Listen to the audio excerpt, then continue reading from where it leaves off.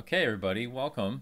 Uh, today we have a few things that we're going to do in our next video. Um, we're going towards this big question in the unit of the P versus NP problem, and today we're actually going to learn what P and NP are. So first, we're going to finish off a little bit about decision problems, and uh, that we, we talked a bit about that last class, so we'll just kind of make sure we're on the same page there. Then that's pretty much all we need to discuss the complexity um, class that's called P, which is the class of all problems that can be solved in polynomial time. Then we're going to move on from that and talk about the two really important concepts for NP, which is first of all certificates, and second of all verifiers. So what is a certificate and what is a um, verifier? And specifically, we're wanting short certificates and fast verifiers. And if you have those two things, then your problem is in the other complexity class that's called um, NP.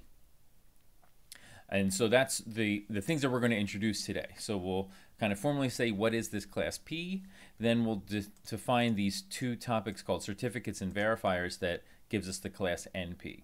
Roughly speaking, P is the class of problems where you can quickly find the answer, and the class NP is the class of problems where you can quickly check the answer, but you can't necessarily compute it quickly. Okay, so first about decision problems. Um, we introduced this last time and talked about it a little bit in class. And so the idea is the challenge is to have your decision problem have the same difficulty as the original problem. We can always turn something into a yes or no question or just come up with a yes or no question, but the challenge is to make it like capture the original difficulty. So, um, for example, in, in class today, we talked a little about like integer factorization.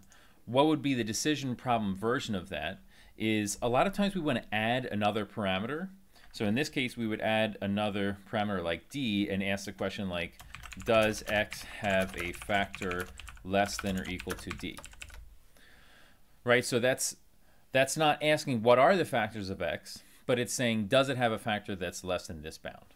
Um, for a minimum vertex cover, again, we're going to say um, does the graph G have a vertex cover with size less than or equal to k? And again, so it's not saying tell me what the vertex cover is, but it's asking like, it, does there exist one that's at least this good? Um, for like the scheduling problem that we looked at a little bit is um, can uh, can we have at least k non-overlapping appointments? Right, so it's not necessarily asking for what that is, but it's also not saying like, does a solution exist or can you schedule this appointment? Because any individual appointment, that's too easy. Of course we can schedule just that one. The question is, can we schedule? How many can we schedule?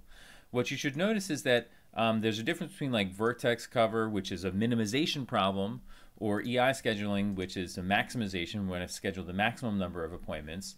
Um, and so that kind of lends itself to having a greater than or equal to or less than or equal to here. Uh, so a lot of times for these um, decision problems, versions of some kind of an optimization thing, we ask kind of, is there a solution that's at least this good? And at least this good might mean that it's big, like in the case of appointment scheduling, or it might mean that it's small in the case of a minimum vertex cover problem. Uh, so again, this is with factorization, um, and we can think about it both ways. So if we have a number n that we're trying to factor, that I called this x before, but n is what we're trying to factor. So the question is like, uh, just to be clear, the, the problem we're solving here is like, does n have a factor less than or equal to k? Um, so if we have this, an instance of the decision problem, how could we use the computational least prime factor version to solve it is uh, really obvious, but a lot of times there's going to be like really obvious things in this unit that we have to nonetheless like say and kind of spell it out. Um, so in this case, how would we solve the decision problem, if we could do the computational problem, is I could just compute the full factorization and then return true if and only if the smallest prime factor is less than or equal to k. So um, it's maybe it's kind of obvious, but this is just saying that if we could solve the computational version, then we could definitely solve the decision version. But it also goes the other way. So if we could solve the decision version, how could we use that to solve the computational version? Well, the computational version just starts with n. So I would just do like some kind of a binary search um, to find binary search to find k such that um, n does have a factor less than or equal to k, but does not have a factor less than or equal to k minus 1. Right, so we can, we can check whether k has this property by running the decision problem twice, and then it's a binary search to find where this number is. And um, so we only have to do log n instances of the of the um, of the decision problem version, and that is going to tell us that. So what we have to finally say what's the answer to the computational problem. The answer is going to be uh, k itself, right? So n has a factor that's less than or equal to k, but not less than or equal to k minus one. So k must be the smallest factor. Then k is the smallest factor and it must be a prime number by definition because uh, if there was a small if k were not prime then n would have an even smaller factor of whatever factor of k it is so this is just saying how do we show that this decision problem is formally like equivalent in terms of difficulty to the original problem it's saying that i can solve one problem with the other one directly and i can go the other way with only log n number of runs so with a polynomial time number of runs, I can kind of go back in, be, in forth between these. So in terms of polynomial running time, these are both the same. In other words, if we have a polynomial time algorithm for the decision problem, then that means we also have a polynomial time algorithm for the computational version of actually finding the factor, and vice versa. If we don't have a, a polynomial time version of the decision problem, then there also does not exist any polynomial time version of the original one. And so that's nice because, again, in terms of some of our formal tools for comparing things, we can only um, deal with decision problems given the definitions that we're going to use. So here's a few uh, formal definitions. I'll just kind of go through these quickly, but it'll be useful for us to have these problems. We're kind of accumulating problems as we go um, in order for us to be able to talk about things. Some of these are hard problems, some of these are not, um, but we can come up with decision versions of all of them. So finding the shortest path from U to V, how can we frame that is like finding, given a graph and an integer, does it have a path that's a length at most k? So why is it at most here is because, again, this is like a shortness, a, a minimization type thing. And so we're looking for something at most k. Um, the longest path problem is really the same exact thing, except that now we're changing, instead of looking for a path at of length at most k, we're looking for at least k. And for all these, we want to think about what is the input size. Um, remember that, so we have a few different ways of representing a graph, um, but they don't really matter that much between them, remember, because we're just focusing on polynomial time or not. So we can just assume um, like the adjacency list representation, so the, or sorry, the adjacency matrix representation. So the input size, we can just say adjacency matrix, and it's n squared, where n is the number of vertices. Of course, you know that the adjacency list representation might be a little bit smaller, but why do we not bother with that? It's just because n squared versus uh, n plus m, we know the number of edges is never more than n squared. And so since that is already a polynomial time relationship, we can just go with the simple one, which is just say, hey, it's definitely less than n squared for the input size, and that's going to be easy enough. And of course, the um, representation is the same for the longest path problem as well. It's just a matter of whether we're looking for something at most k or at least k. And one thing you can think about just as a hint, we know fast algorithms to do shortest path like Dijkstra's. For longest path, we don't know any algorithms. If you think about a graph and you're trying to kind of find the most roundabout way to get from one vertex to another, um, that's a much harder thing, it turns out, to do than finding the most direct path. Uh, okay, so also factorization. So we just talked about this. Um, in this case, the input size is the length of n. So the input size is like log base 2 of n, and k has to be less than that. So, um, So that's where that one comes from. And notice that's why that kind of controls, we, we talked about this many times, like the value versus the size. So if n is the value of the integer we're trying to factor, the size of it is log base 2 of n because that's the number of bits, number of bits to represent n. Remember that when we're talking about comparing problems, we always want to compare them on, on fair terms, which means just thinking about the input size in bits. And for vertex cover, again, um, we can say that the input size here is n squared, just using like an adjacency matrix representation, keep it simple. And the the question is, does it have a vertex cover with the most k nodes? We know that k has to be less than or equal to n, because otherwise the the question is trivially true. So um, that's all we have to think about really for the input size is just like n squared. Um, and again, like we said, we're looking for does there exist a vertex cover that has size at most k? So like like a lot of these things, you end up adding an extra parameter of saying like how good is the answer to the decision problem version.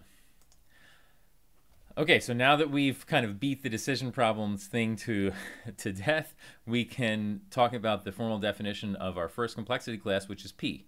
It's all decision problems that can be solved by an algorithm um, in polynomial time in terms of the input size.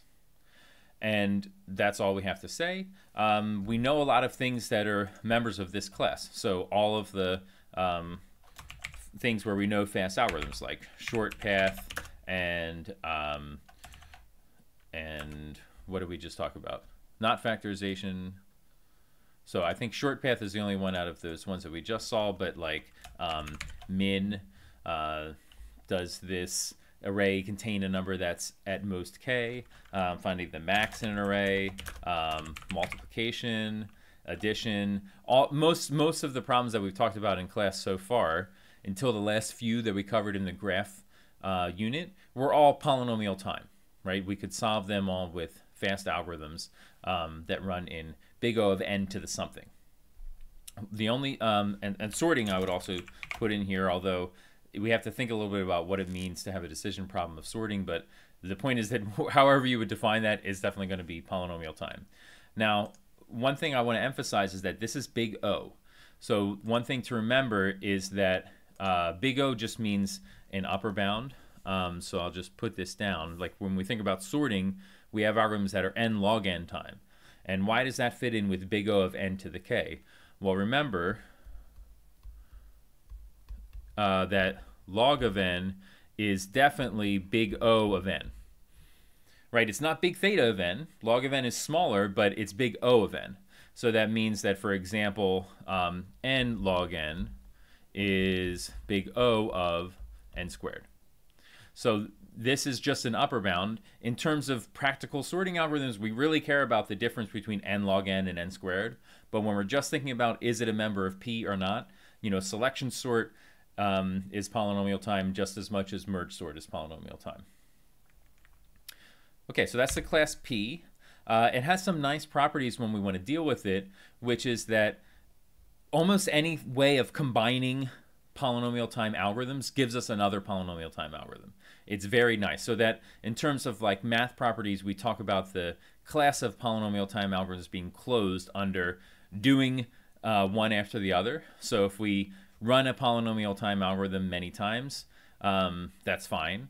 We can run a polynomial time algorithm with inside another uh, loop.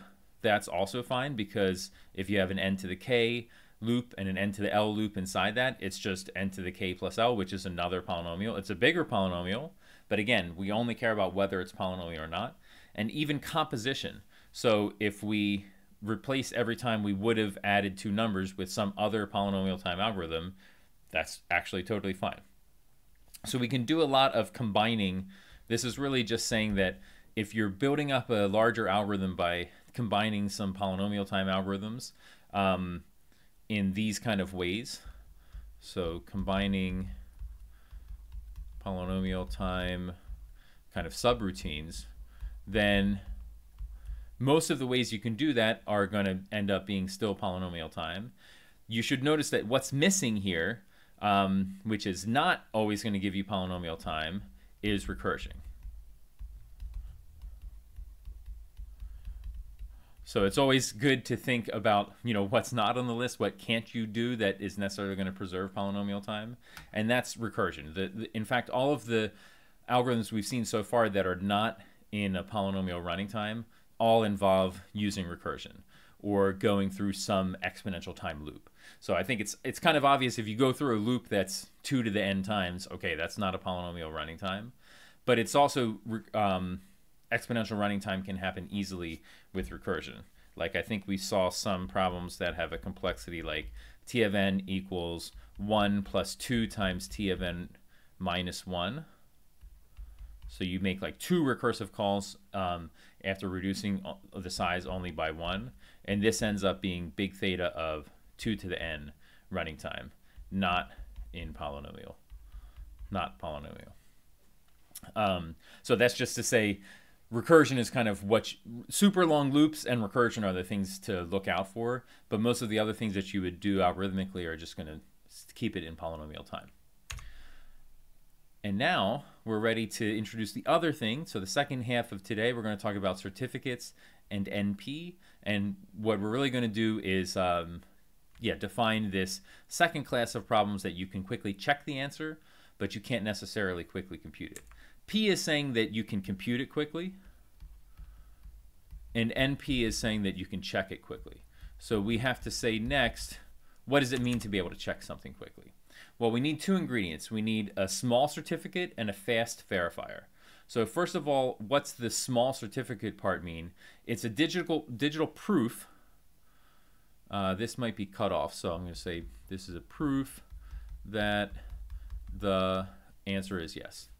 Okay, so um, what a certificate is is like justifying how do you know the answer is yes. So like for integer factorization, remember we said does there exist a prime factor less than or equal to d? Or does there exist a factor less than or equal to d? Um, so what's the proof that there does exist a factor less than or equal to d is just the factor. the least prime factor is a certificate uh, with minimum vertex cover. What's the proof that a graph has a small vertex cover is just the nodes in the vertex cover. Nodes in um, the vertex cover. Shortest path and longest path, the proof would be the same, is the path. Um, but it's either going to be a short one or a long one, depending on what problem you're solving. And in all these cases, uh, it's important to say that these are short certificates. So short really means polynomial size. Usually the certificate size will be smaller than the original problem size. And that's going to be the case with all of these, right? The nodes that are in the vertex cover is going to be less than all the nodes that are in the whole graph. The path for shortest or longest path is definitely going to be smaller than the whole graph that you started with. The factor is going to be smaller than the number that you started with, and so that's good. Um, a lot of times this is going to be obvious for what we're dealing with, but it's important to say it because you can play some tricks uh, that would make things not make sense if you're allowed to have like exponentially large certificates. Um, and since that doesn't make sense, we won't usually try to do it, but we have to be kind of careful about our definitions to not allow nonsense things to seek in. And what goes along with the certificate is a verifier algorithm, um, which takes the original problem that you're trying to solve and an alleged certificate. We actually played around with this uh, with some of our puzzles in class last week with graph problems, um, where I asked you to, for example, verify that a matching was valid or not, and whether it was maximal or not. And what you had to do was check things like, do all these edges actually exist in the original graph? Do they not overlap with each other? Um, and so that that process that you did, that's actually what a verifier is. And of course, we don't want any verifier, but we want fast verifiers, uh, meaning that it should run in polynomial time. Um, and so again, we're only checking if the answer is yes. We won't try to prove or have verifiers for the answer being no. That might be more difficult. So like thinking thinking here, if you want to prove that a vertex cover exists with size less than or equal to k, to prove the answer is yes, you just have to, you know, show me the cover. Show, you know, show me the vertex cover and I'll check it. I'll check that all the nodes in that um, vertex cover that it has the right size and that it covers all the correct edges. But if you want to say that the answer is no, that it doesn't have a vertex cover with at most size k, that's a harder thing to prove. How would you prove to me that something doesn't exist? And so that's why we're only going to try to say uh, that we need to check, have a certificate for, and verify um, when the answer is yes. And so the idea is kind of guess and check algorithms, where the answer is maybe tough to come up with, but checking is easy. So that's roughly what it means to have a small certificate and a fast verifier. And the cool thing is that even when problems are seem to be really hard, like factorization, right? Integer factorization seems to be a hard problem. We hope that it's hard. It's what the basis is for a lot of modern cryptography. But we can check the answer to a factorization pretty quickly. Uh, we just can't come up with that factor in every case. Uh, another way of thinking about this, uh, and this will be the last thing we talk about, is this example I have of a maze. So here's the problem is given a maze, can you escape from the center? So you're going to start in the center of this maze and you try to get to the outside. I don't know if this is how um, like hedge mazes work. Maybe you start from the outside and try to get to the center, but anyway, that's that's what I'm going to say the problem is. Now think about what does this mean? Um, we're just asking, does there exist a way to get from the inside to the outside? It's possible if the answer is yes or no, right? It's possible that um, all the routes that you could try are ultimately going to be closed off and you're actually trapped in the middle. Um, but verifying a no answer would require you to explore all those paths. So verifying a no answer would be kind of hard. Whereas what does it take to verify a yes answer? All it takes is this certificate, which is a path from the inside to the outside. And so, what are we thinking about with certificate is first of all, how do we know a, certificate is always going to exist if the answer is yes? Well, if you can't escape from the center, there must be some way to do it. How do we know that it's small? It must be smaller than the size of the original maze. Otherwise, you know, you can't go outside the bounds of the original maze. And then finally, how do we quickly verify it? Well, the verification algorithm in this case is just to drag it and line it up right? So the verification algorithm in this case is like lining up that path, that certificate, and then checking that we didn't run through any walls. Of course, I could have given you a bonus, a bogus certificate that just like takes a diagonal path. Um, so I'll, I'll, give a bogus certificate in red, which would be like going from here to there. Um, that may look silly. I could make it a little bit less silly looking, like boom, boom, boom, boom, boom, boom, boom, boom, and then it gets out. But that doesn't work, right? I went through a whole bunch of walls. So when you're checking the certificate, you should have no trust in what's being given to you. You really need to um, check every detail. In this case, it means checking that it doesn't go through any walls. But now that you've seen this green certificate, that actually works, that checks out, that verifies that the answer is yes. Um, so that's what it means for our second complexity class, which is called NP. It's all of the problems that have a fast uh, short certificate and a fast verifier. So problems that um, can always be verified if the answer is yes. So a yes answer can be verified in polynomial time, um, but the no answer maybe we can't. Um, so in order to define an NP proof, we have to first say like, what are the certificates? Why are they small? Right. So this is a formal way of saying um, small. small certificates. We have to say what is the verifier algorithm, and then we have to say that it runs in time big O of n to the k, uh, which means fast, right? Because remember, for this unit, fast means polynomial time, and slow means anything else. So in order to prove that a problem is NP, we just have to say it has a small certificate and a fast verifier. And that's all I want to talk about today. We'll get into practice of thinking about how to prove things are in NP or not a little bit next time. But just to remind you, we have P, which is the problems we can quickly solve. NP is the problems where we can quickly check the answer. This maze problem is a good example of one where um, solving it might require checking a little bit more, but checking the answer to that solution is fast. Once you're given a path, all you're doing is following it along. Make sure it doesn't go through any walls. Make sure it goes from the inside to the outside, and that verifies that the answer is yes. And the kind of big question is whether P and NP are the same thing. It should seem obvious that they're not the same, but uh, the teaser I'll give you is that no one in the world actually knows for sure whether the class P of things we can quickly solve and the class NP, which we can quickly check, whether they're the same or not the same. And so we'll spend the next few days uh, really exploring that question and seeing um, how we would even um, consider approaching that kind of question. Thanks a lot.